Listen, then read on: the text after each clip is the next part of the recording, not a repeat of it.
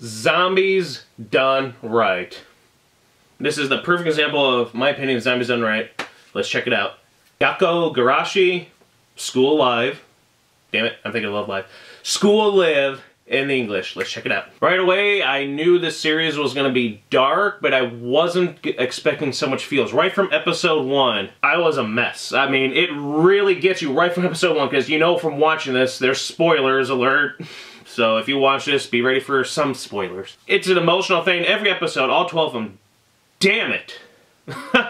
there isn't an episode that goes by where you don't feel feel sad, like your heart pounding, like you like oh my gosh, like you're like or or you know something. That's why it's really well done. Uh, right from episode one. Uh, yeah, the way it ends, it's like I knew, but at the same time, I still was. It's still just affecting me. I'm like, oh my gosh, like Oh my gosh. Dear God, the endings freaking are beautiful. Make me tear up every time I hear them. So beautiful, especially the first one. That is such a sweet, beautiful song. Because if you know how it goes, when you see the characters going and they're walking together and you hear this beautiful song, it tears up because you know it's like, because of that character and that one, you're just like, oh, oh, I can't watch this. There are a lot of times where I'm just like, oh my gosh. the opening is the most catchiest piece of crap I've ever freaking heard in my life. It is super catchy, adorable, catchier than hell, and is not what you expect from uh, horror, gory zombie thing there. That's what was so good about this. It's horror mixed in with the cuteness, and it works so well in the opening. Is dear God, this like rah, zombie uh, anime series or series in general, and then you have an opening like this, which is like cute and just like, oh my gosh, it is spectacular. One of the best openings I've ever heard. Again, it's cute girls doing cute things, but then, damn, what the? The first episode, a nice introduction of the girls, and best girl in my opinion, Sakura Megumi, Megu-nee. I'm gonna get teary-eyed probably talking about her. Why did it have to go this way? But it makes sense for story. I mean, Megu-nee. Anyway, and then throughout we have like moments of the series and we know like say Yuki, the main girl, she's adorable, such a breath of fresh air, bubbly, perfect little go-getter attitude, just a joy, which again, as they all say like towards like they, they tell her like part there where she's like, Megu-nee, I'm, I'm useless, I can't do anything, I'm always a screw up, I She's like, you can do something that no one else can do. And it's like that, that smile that cheers everyone up. You cheer everyone up, you make everyone happy. That's a really nice thing to say to someone, you know? I know there's a lot of people out there that are just so down on themselves. And it's like, in the end, just don't feel like you are worthless. I've never thought I was worthless in my life, but I know a lot of people just feel like they're worthless and so down on themselves, and I tried my best to, like, help them up. And that's just something really nice to say to people. That was really... Damn, Megu-nee. I'm tearing up. Damn it, Megan A. anyway, uh, and that's what she does, and she's good at this. So you see her in this, and then you see how she is. She's like all happy, and you're sitting there meeting all the characters. And then in that first episode, she's all talking to Megu-nee and all these people, and then going through class and living a regular school life. And at the very freaking end, she turns around and you see, like, she's talking to nobody. It's all in her head. Broken glass of there, broken, destroyed everything, blood everywhere. That's the zombie outbreak. You knew this was a thing with zombies. I knew this was that. But it still just kind of made my heart just kind of... it still got me because I was like, oh my gosh, just because of the setup. It was her and it's something, I, I didn't think it was going to just abruptly show us that, you know. I knew it was going to reveal, but I mean, you made it look like this was the before and then we're going to see what happens, but instead it's all in her head and then you get the whole psychologicalness of this. Oh my gosh. I mean, the moment they reveal all that and you're like, oh, this girl, I know things are gonna, oh my gosh.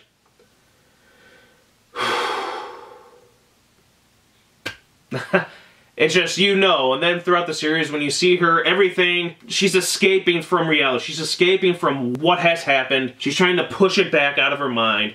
And then she's making up all this stuff there, and she's talking to people who weren't there. Damn it, Megu-nee. And you just know, like, oh my gosh, this poor girl. I'm gonna feel for her. She's gonna have a breakdown. And when she does, I don't want to be there to see it. so you're preparing yourself for, oh my gosh. And her friends are all there like, oh my gosh, making her like, yeah, keep acting like this because we don't want you to, happy good girl, let's keep it that way. And you felt, you, you felt for her. I mean, they're blocking just because, you know, eventually it's gonna all hit and Anyway, I'll let the other characters, shall we? Again, like I said, Megu-nee, best girl, love you, kind-hearted, caring, really cares about her students, really cares about people, will do whatever it takes. And I mean whatever it takes to keep them safe. She's beautiful, cute face, good outfit, loving, just caring, good-natured person through out. When you hear about her, she's just a good person. She'd be perfect waifu because she is, you know, again, that nurturing caringness of her, and it's a good mother, you know, you want to have someone that's going to be a good mother to your kids. And that's why a lot of good, like, waifu status would be someone you can know could be like that. And again, why 2D, and then, like, you know, like a lot of days out there, you're like, you want someone who doesn't care only for themselves. You want someone who will be good for your child and your children, and nurturing and caring like that. And that's what makes a good person, a good girl, a good waifu in, in 2D and 3D. Honestly. So yeah, none of these, eh, you know, thoughts as they were. So that'd be like the only negative portion on here. Just trying to talk about how good Megu-nee really is. Mm. Uh, Yuki, again, I've already explained her. She is just awesome as hell. You have Kurumi, purple hair. Love those purple hair ones. Tough girl. Love those tough girls. One Fang, the Fang showing. Love that and uh, the unique outfit, and then the shovel. She kicks ass and fights with a shovel. And for me, some spoilers here, uh, we've made a short film back in 2013, working on, made it full length, been working on that, turned into a light novel at some point. I want to like write out and just get it out there and draw the character as a character of ours, Briar and Heather. They kick ass with shovels, so it's kind of neat to see girls with shovels fighting, and I'm like, ah, that's like my girls. But anyway, She's awesome, and again, with the characters, they all are distinctive, they're all their own selves, they're all unique, they're not the same. Own personalities, attitudes, even through their outfits. It's really neat, well done with the different personalities and takes on who these girls are. There's Yuri. Again, she's kind of the in a way, she becomes the Megu-nee of the group because she becomes like the mother, the caring, the nurturing person. She's very cute, pretty. She's got it all. She's got the one mole by the eye. Big tits, I mean, yeah. Then there's the newest introduction, Miki. She's rescued by these girls, Taroumaru, basically. We'll talk about Taroumaru in a second. There joins them, you know, almost midway through the series. And then slowly bonds and becomes accepting of them, and then they accepting of her, and then she realizes what's meaningful in life and how much they mean, and they realize what is, you know, important to her and to them. So she becomes a really strong, gotta get out there character. And unfortunately, at times when they first there, she's the first one to kind of realizes, hey, who's Yuki talking to when she brings up Megu-nee and all this stuff there? Is she, does she know? And they're like, up, up, up, up, we had to keep her. And then she tries to say like, she wants to be like, no, we can't do this. I have to tell her. And then she realizes we have to in order to keep her happy and to keep us going. There's Taroumaru. It's a cute little dog. Taroumaru is awesome. And again, Anyway, I love that name, Taroumaru. It's so cute. I love how they say Taroumaru. But anyway, the girls, they all attend Megurigaoka High School. They're barricaded in now, obviously, because now we're zombies. Post-apocalyptic world, zombie outbreak, but the zombies, again, Yuki says about she likes school. Everyone likes school. That's why they stay here. The zombie students are all just, they, they don't go past the school. They stay in the schoolyards inside and out. They can't go fruity because they just, all their memories in life, I guess, are there and it's important to them. So that's why they're. So they're kind of like, ugh, screw there. But the school, it turns out, is made into like a, like they kind of knew about this out outbreaks to happen. So the school is like a facility, a place where they can withstand and like live okay and have like supplies, electricity, and there's a thing up there. That's why, like up on the roof, there's like the guard also up there and there's like the water supply and also, it's all there. And then they later find out there's a, place where they have like antidotes or whatever they can help like first before they start fully turning. Thanks to Megu-nee leaving trails and hints and notes and uh, again with Megu-nee, she's always there to protect. Like I said, she's there no matter what. Watching over them no matter what. In every way she has helped them and watched over them and continued to and continues to which is beautiful about Megu-nee. There, they start the School Life Club. They're the members of the School Life Club, and uh, that's basically what this is, and they try to live like, hey, we're in school, and here's the School Life Club, even though, eh, out there is that, and we can't tell Yuki about this. Aired in 2015, uh, the manga still continues. I've showed off some of that, and I had to because I knew the manga was continuing, I'm like, and there's more story besides just this anime, because it ends where it should continue in the manga, and I really wish they would animate this. There's rumors they're going to do a live action thing, and that sounds stupid. You're not going to get the same feel of the gritty, dark, zombie blood and gore mixed in with cute anime moe girls because they're going to be real girls and it just won't work. So it's like, just give us another sequel to this. It, I've seen a lot of people really into this and give it major props and talk about how great it is. And the manga is doing well because it's still going. So I don't know. I just really wish, hey, give us more. But instead, like, this year we're getting something called, like, Zombie Land or whatever, which I'm like, what? And I'm like, it kind of looks like they're trying to do this. I'll give it a shot, but I don't think it's going to be like this. It's one of the best survival series out there, if not like the best. I think it's just so well done. And for zombies, right off the bat, I'm going to tell you so you don't think I'm biased or anything like that, or to prove how bias isn't always true in everything, I am not a fan of zombie stuff at all. The Walking Dead is eh, especially since it's just going on and there's really just no. But I gave it a shot and I'm just like, no, thank you. I'm not really a fan of anything zombie because they're all like the same unless it truly, for me, just stands out as unique. For example, Return of the Living Dead, that's a good zombie movie, in my opinion. Fido, most people probably don't know, that's a good zombie movie, in my opinion. And then, uh, basically, a couple other ones here or there. And then this, this stands out because of one, it's like it's a sound movie and moe cuteness mixed together. It's like, how do you mix those? And if you do, how do you make up, like, mix them well and will it work? It does. That's what makes this so good and why I find it to be the best among zombie stuff. And it stands out among zombie stuff. And it's zombies done right, in my opinion. Hence the title and the whole point of this. Let's see. Slice of life, check. Psychological, check. Horror, check. Mystery, check. Moe, check. School, check. Some ecchi and fan service, check. So it has the checklist of like a good anime. Every episode, goosebumps, butterflies, misty-eyed, heart-sinking. Even if the episode ended with some kind of happiness to it, which is always good and some good smile emotions, it was still just kind of, like again, either emotionally, like sad happy, you know, that kind of sad happy, or even still, if it was happy, you were still sad or depressed or just emotionally wrecked by because you know what's coming next. But it makes you feel good because of how the characters are each other, how much they love each other, and they really are friends, and how much they care for Megu-nee, for Taroumaru, and how Megu-nee really does every episode. I'm just in a ball with Megu-nee. So, uh, spoilers right here. Like I said, Megu-nee does sacrifice everything. She sacrifices her life to save these girls.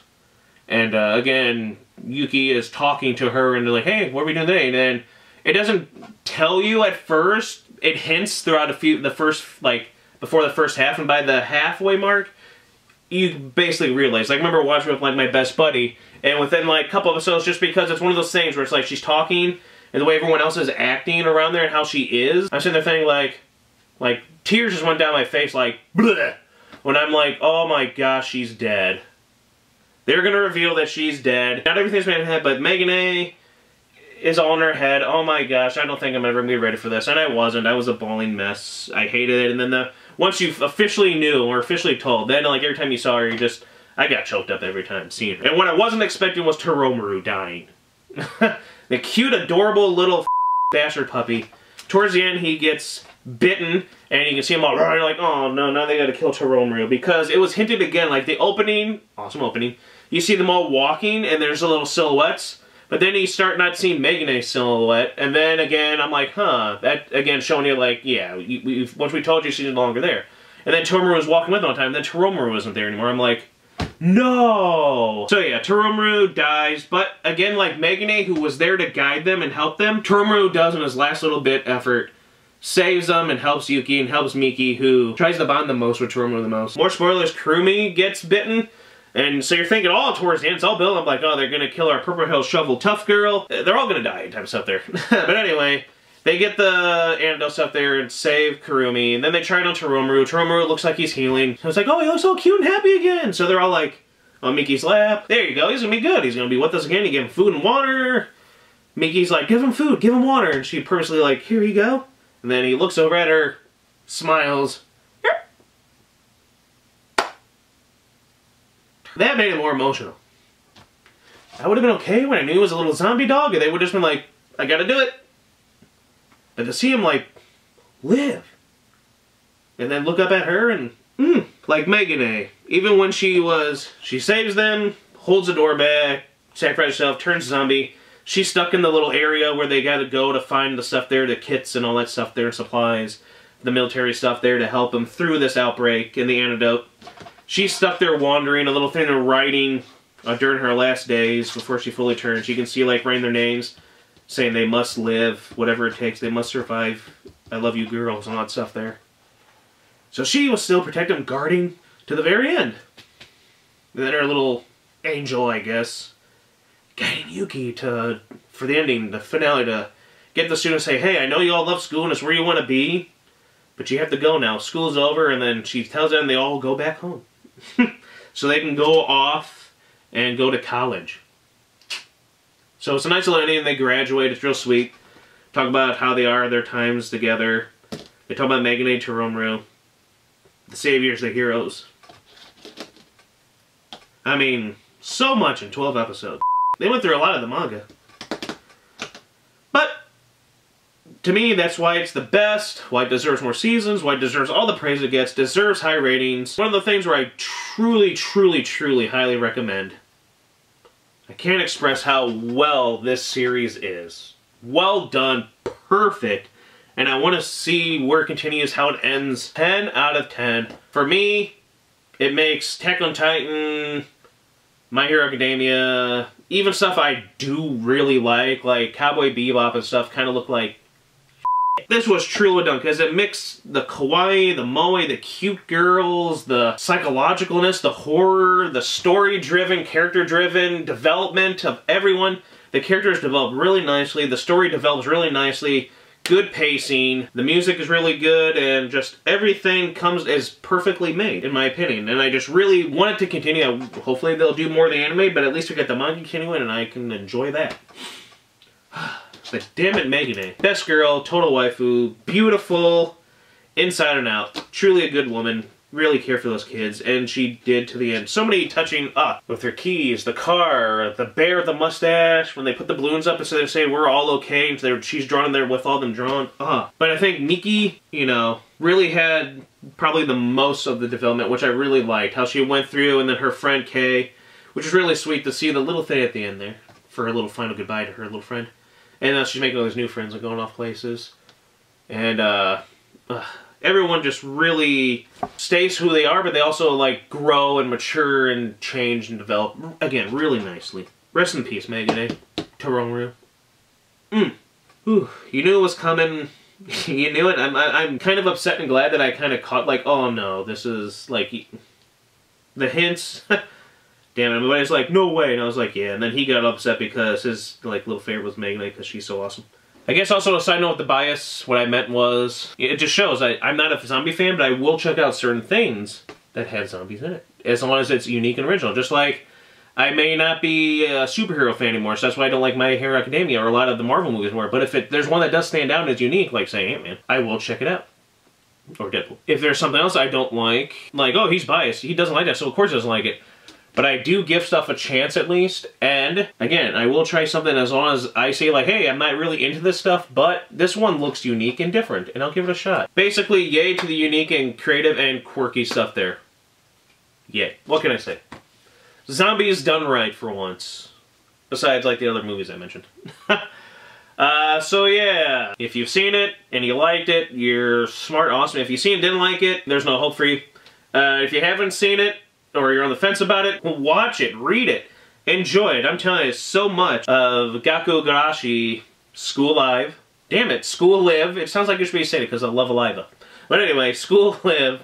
Really good anime series. One of the best in my opinion. 10 out of 10. Beautifully done on every aspect. And it's one of those things, again, where I don't like zombie stuff, but it makes me appreciate it because when it's done like this. I don't know what else I can say, but just, it is amazing. Worth checking out. It has to be a must-see a must read. Just enjoy it. And again, it's one of those things where it's like, you're sad to see it end, but as Yuki said it best, it's like, you know you don't want good things to end, but they have to. It's that thing where all good things come to end, and then you should be happy that it ended because you at least got to experience it and you can have the memories and all that stuff there. It's one of this one of those things where it's like I'm sad to see it end, but it, it, it ended and you at least you got to experience it and watch it. And there's so many things you wish you could just bring back as a reference I'm going to say, with the touch to bring it back. It's been nine years since the ending of Pushing Daisies, the greatest show to ever appear on television.